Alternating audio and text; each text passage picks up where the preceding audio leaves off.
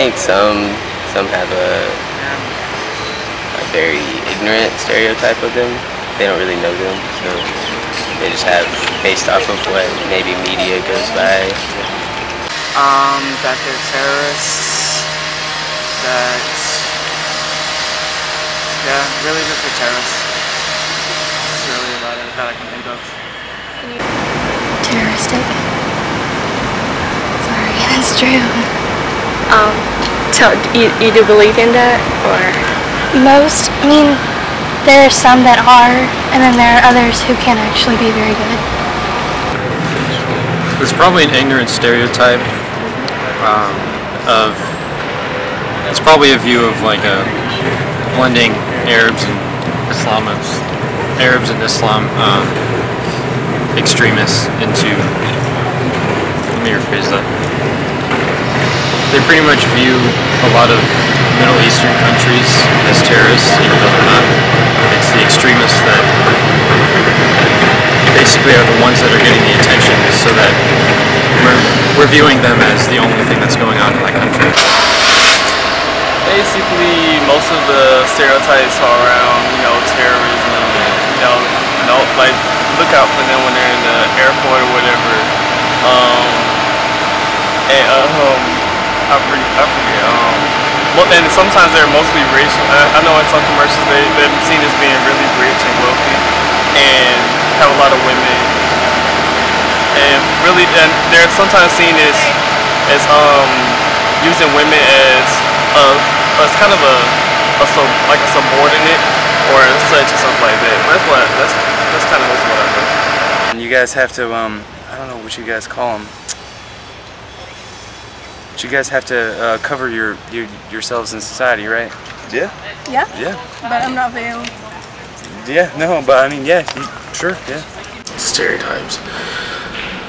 Um, brown skin, um, turbans.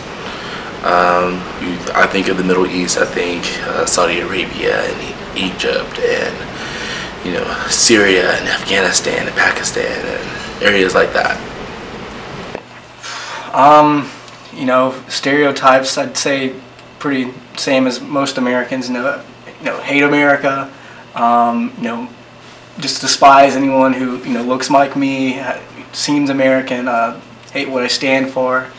Uh, you know, all, everyone's Islam is is a Muslim. You know, just things like that. I guess those are the stereotypes. stereotypes that I used to have. Um, well, growing up uh, with a family who was kind of prejudiced against anybody who wasn't white. Uh, basically, the stereotypes that are associated with 9/11 and things like that, all the bad ones. But not anymore. but like what? Like, uh, don't trust anybody who's Arab. You know. Um, not that I have, but I know that, like, growing up in New York, September 11th, that was horrible, done by horrible people, but that wasn't the extent of what Americans, when they think of the Middle East, you know, they, they, they group everyone, a huge region, as just the Middle East.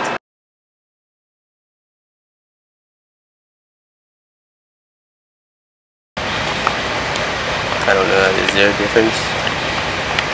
Uh, um, I, I, learned, I learned that Muslims are they follow Islam, and that's and it's like it's religion based. Like it's just it's just, it's just their religion. And Arabs are that's their race of people, I believe. Um, Barack Obama's a Muslim, right? I believe so.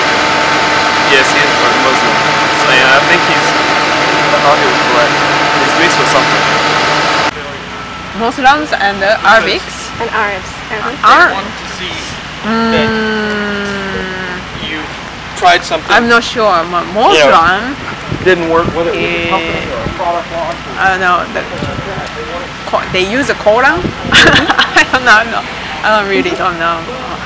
So Quran or uh, Muhammad Ali. But I don't know the difference. Hey, what about Arabs?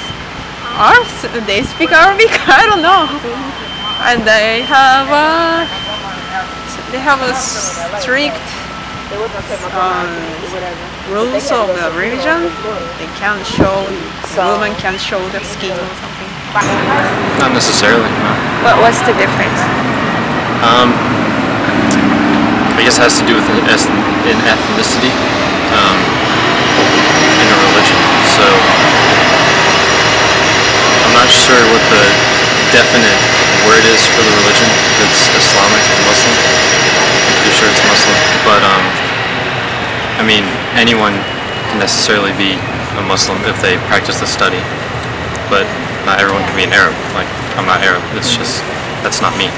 Um, but if I choose to be Muslim, then it's because it's it's what I'm practicing. Okay, Arab is a culture, right? Okay. And Muslim just means that you practice Islam. Um, for a long time, I did use those words interchangeably, and now I realize that it's not right. I'm still trying to make sure I understand the distinction, but I know that saying someone's Arab and saying someone, uh, and then turn around and say, "Yo, they're Muslim," is not the same thing. It's two, it's two distinctions. I'm still learning those distinctions, but I know that that's not what I should say. So what, what's for you Arab? What's the differentiated from Muslim? um, Arab, I've I've realized just like is like a American, like it's like more like a nation type thing versus just one specific place. So you're Arab, um, Kurd, you know, not necessarily saying, well, because you're because you're a Muslim, you are an Arab, because that's not that's not the correct. Muslim is I understand it to be just the faith. Um, you're religious, like you're like your religious affiliation makes you a Muslim. So you can be American and be a Muslim. You can be Indonesian and be a Muslim. Doesn't mean you're an Arab. Not all Arabs are Muslim, and not all Muslims are Arab. In fact, you know most Muslims are not Arab. Uh, so, but I think that is a stereotype that just is rampant throughout the United States. That you know, as soon as you hear the word Arab, you think Muslim, and um, so I, I recognize the difference, but at the same time, you know that um, it's definitely something you know you think of when you first hear Arab. You're like, oh, Muslim. So.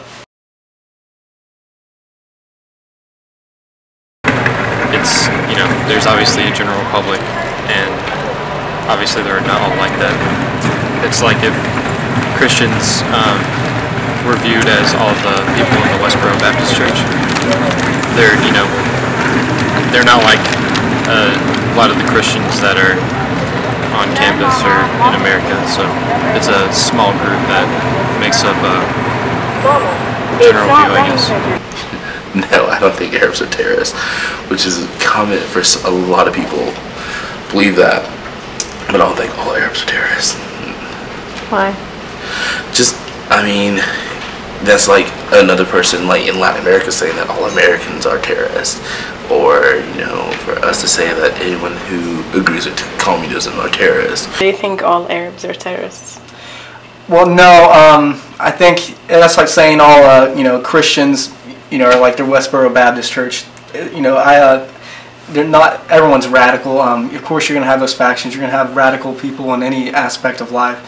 Um, but uh, as for, I think that the Islamic religion, Islam itself, has gotten a really bad rap by maybe the two, one to two percent who choose to use radical measures to get what they want to advance their agenda. So most Muslims are peaceful, you know, want nothing but to go about their lives and just be, you know, exist like everyone else. No. No. No. You know. Because that was a particular specific group. And you know, Christians have had the crusades and so for someone to say all Christians are terrorists or cruel, that would not be right. And so you just have to understand that the few cannot and should not define the many ever. And so no, I don't. I just can't. I nope. I don't believe it. And you can't believe it. I mean, you can't know for certain. Like there could be a warped reality where all Arabs were terrorists, but I highly doubt I live on that on that you know universe.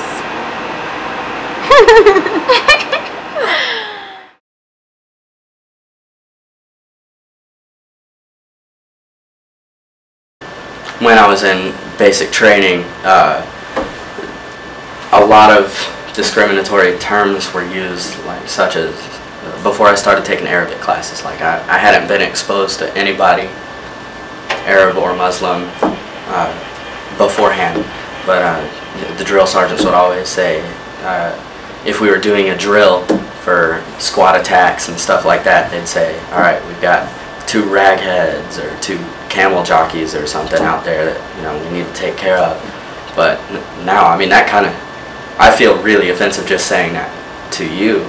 So, but just to express, now I wouldn't even say that, or like Haji or something, because that that has a direct reference to their religion. Go like my preconception about going over to Egypt. I thought it was going to be a very hostile environment, but that's not the case. Um, I think both everywhere in the world is just made up of people who just want to go about their lives in the most peaceful way possible. And um, I would say that those, while there are tensions that exist, they're not on an everyday basis. You know, you don't go around worrying about them. But I mean, we have some social issues here in America that are uh, you know prominent that we need to take care of and focus on. Prejudiced against because just kind of reputation that uh, they uh, the kind of just stereotype that's been built after 9/11. You know, I'm sure they've been discriminated against. Just really just. Uh, I, I think it probably has been hard for a lot of you know Arab immigrants who you know, just try to go about their lives. But you know, a lot of people when they see them, they get scared. You know, get on a plane, you see someone who may, might looks Arab, you, you, know, people get a little nervous, and you know that's that's not right. And unfortunately, that's the case in a lot of um, circumstances. Educate yourself before you uh, start generalizing an entire population of people. um, never. I mean, it's gonna sound. I'm sure sound. Uh, liberal or not, but I mean, you can't trust all media. You've got to get information from a source. Um, and you've got to decide if that information is viable for yourself so that you can back up your opinion, not just, you know, speaking off the top of my head. Um, so yeah, I think that's a good way to approach the debate. And after this Boston explosion, you didn't have a first, you know, like glimpse. Do you want to know what my first thought was? I thought, heaven forbid, this is the U.S. government creating hysteria so that they'll have national support to attack North Korea. That was my first thought. It was a conspiracy. it was a conspiracy of my own country. And so I saw your Facebook status mm-hmm. that there was someone saying kill all, what was it? Kill all Muslims. Muslims because they had something to do with the Boston Marathon. And I just was like, oh my, are we, God, like, I don't know. I feel like 9/11. It was it was horrible, and not to joke about it, but because it was one of the many, the first attack in a long time on our own soil, it has scarred a lot of people. Where, if anything even comes close to that happening to them or onto our soil, it must be these amazing jihadists who somehow got through our, you know, military protected system once and they only they can go through. I mean, no, I mean,